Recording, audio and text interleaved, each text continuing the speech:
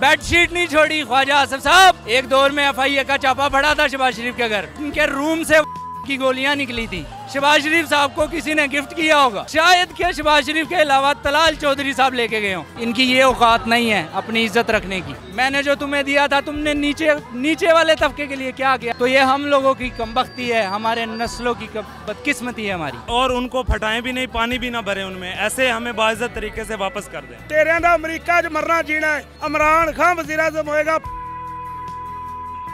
असल नाजरीन पाकिस्तान छोटी के साथ में आपका मेजबान तलादरा नारू हाजिर खिदमत। नाजरीन हम इस वक्त जो है खान साहब की रैली का इंतज़ार कर रहे हैं और यहाँ पर गुफ्तु हो रही थी तोशा खाना की तोशा खाना की तवाइफ की और तवाइफ की चोरी होगी जहाँ पर घड़ियाँ चोरी हुई हैं वहाँ पर और भी कई चीज़ें हैं। आज इनको चुराया गया है या ख़रीदा गया है हमारे साथ एक भाई मौजूद हैं जो कि इनके पास कोई ख़ास इन्फॉर्मेशन है कि वहाँ से कोई ख़ास चीज़ चोरी हुई है जिसमें ये बात करना चाहते हैं। कैसे हैं जी ठीक। क्या चोरी हुआ है तोशा खाना? भाई, कल जब रिकॉर्ड ब्रेक हुआ ना, मुझे वहाँ से एक खबर मैंने देखी मीडिया पे कि वहाँ से बकाया तो गड़ियाँ ब्रेसलेट और बेडशीट तक ख्वाजा आसफ साहब अगर सुन सकते हैं तो बेडशीट ख्वाजा आसफ साहब, औकात इसे कहते हैं जो खान साहब ने दिलाई है। बेडशीट नहीं छोड़ी ख्वाजा आसफ साहब। कैसे आदमी हैं आप? बेडशीट उठा के ले गए। दूसरी चीज़, चोरो, ये सब कुछ छोड़ो। लेकिन एक चीज़ का जवाब मैं पूछना चाहता हूँ। मुझे कल पता लगा कि तोशा खाना से अब पैकेट उठा के ले गए हैं। वो कहाँ लेके गए हो? उसका तो बताओ क्यों चाहिए था वो? और कौन लेकर गया और लेके कौन गया? चोरों बकाया सब माफ़ है तुम्हारे लिए। एक आदमी का बताओ वो कौन पैकेट कौन लेके गया? वो आदमी सिर्फ़ वो आदमी चाहिए बस। आपने क्या करना है? अगर ये वो आदमी ना हो बिल्कुल मैंने जर्नल नॉलेज के सवाल करने उस बंदे से। आज आपको क्या लगता है कौन लेके गया होगा?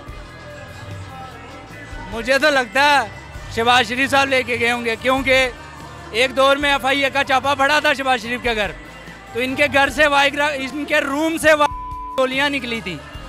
तो मुझे लगता है कि ये कॉन्डम का पैकेट भी शहबाज शरीफ शहबाज शरीफ साहब को किसी ने गिफ्ट किया होगा। अच्छा अच्छा आप समझते हैं कि अगर आप छापा पड़ा तो वो पैकेट और हाँ इनाम दूँगा एफ़ आई वालों को।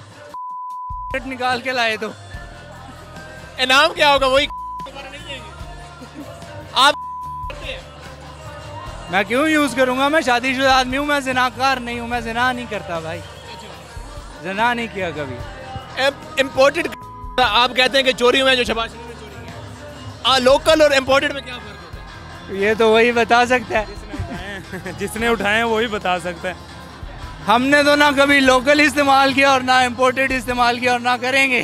पूरा पैकेट उठा के लेके गए हैं। अच्छा पैगाम क्या दे रहे थे आप? पैगाम ये दे रहा था कि तोशा खाना के चोरों बकाया सब माफ़ है तुम लोगों को। इस आदमी का पता बता दो ये कौन उठा के लेके गया होगा? और शायद शायद के शबाज शरीफ के अलावा तलाल चौधरी साहब लेके गए हों। वो रात को तीन तीन बजे तंजीम साजियाँ करने जाते हैं ना तो उनको ज़रूरत पड़ पड़ती होगी। क्योंकि उनका हाथ भी टूटा इस मामले में ना, तोड़ा गया था। तो फिर वो मुकर गए, खैर वो उनका अपना मामला है।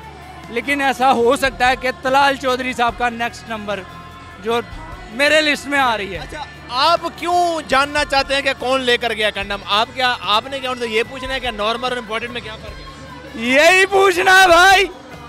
यही तो पूछना आपने तो दोनों ने इस्तेमाल किए। ना करने हैं तो क्या मज़ा पूछ उससे मज़ा तो पूछूँगा ना क्या मज़ा है इसका? ये हम जैसे लोग न, मैं मेरे जैसे मैं तो कुछ जनाकार थोड़ी हूँ। अल्लाह माफ़ी दे लेकिन इनकी सोच देखें। एक घड़ी के लिए रो रहे थे सारे ठीक है? अपने पे बात आई का पैकेट जो इम्पोर्टेड होगा, कितने का होगा? ज़्यादा से ज़्यादा पाँच डॉलर का। पाँच डॉलर का। इनकी पाँच डॉलर की औकात नहीं है कि अपनी इज़्ज़त को अंदर रखे और ख़ुद जाके स्टोर से ख़रीद ले। इनकी ये औकात नहीं है अपनी इज़्ज़त रखने की। और ये हम पे हुकूमत कर रहे हैं। खुदा का खौफ करें यार को कुछ खुदा का खौफ करें, अपनी नस्लों के बारे में सोचें। ये खान साहब जो टकरे मार रहे हैं, ये पागल नहीं है। लेकिन इनको ये पता है कि मैंने जब मरना है, मैंने अल्लाह ताला को जवाब देना है। मेरे साथ हिसाब होना है, मुझसे पूछा जाएगा। मैंने जो तुम्हें दिया था, तुमने नीचे नीचे वाले तबके के लिए क्या किया जो तुमसे नीचे थे? ये, और जितने भी लोग मुझे सुनते हैं, देखते हैं, या कोई भी भाई, ये याद रखना कि जिस आदमी का मरना जीना तुम्हारे साथ है, वो तुम्हारी कभी कभी भी तुम्हारी इज़्ज़त नफ्स को मरने नहीं देगा। किसी के भी आगे तुम्हें झुकने नहीं देगा। और ये उसने करके दिखाया है। इसके बाद भी अगर हम लोग नहीं उसका साथ देते तो ये हम लोगों की कमबख्ती है हमारे नस्लों की बदकिस्मती है हमारी। चलें जी बहुत शुक्रिया। मेरी तो दरख्वास्त है दोबारा से। आपका नाम क्या है? सलमान यूसुफ। सलमान यूसुफ को जो भी शख्स सलमान यूसुफ से खसूसी रबता करे और उसको बताए कि वो कहाँ इस्तेमाल हुए हैं कैसे इस्तेमाल हुए हैं और जो नॉर्मल हैं। और नुकसान ना करें उनको फुलाएँ नहीं क्योंकि राना सनाउल और इन सब वो क्या पता किसी के बर्थडे के लिए ले गए वो बैलून गुब्बारे खेलते हैं ना पीडीएम वाले सारे फुला के खेलते क्या पता गुब्बारे समझ के ले गए वो तंजीम साजी तंजीम साजी के लिए लेके गए होंगे यार। गुब्बारे सिर्फ़ बर्थडे में थोड़ी लगते हैं तंजीम से इनकी तंजीम साजी में नहीं और उनको फटाएँ भी नहीं पानी भी ना भरे उनमें। ऐसे हमें बाइज्जत तरीके से वापस कर दें। आपको वापस चाहिए आपको चाहिए जी वापस क्या करने? चाहिए ना वापस चाहिए इनके लिए इस्तेमाल करने हैं पीडीएम वालों के लिए। अच्छा आप इनके खिलाफ इस्तेमाल जी इन, इन, इन, इनके लिए। इनका कहना है कि ये इनको करना चाहिए। इमरान खान वज़ीर आज़म इनशाला बनेगा। खरा और सच्चा बहादुर इंसान है ज़िंदा मरना जीना। पाकिस्तान में चोरा लुटेर अमरीका मरना जीना है।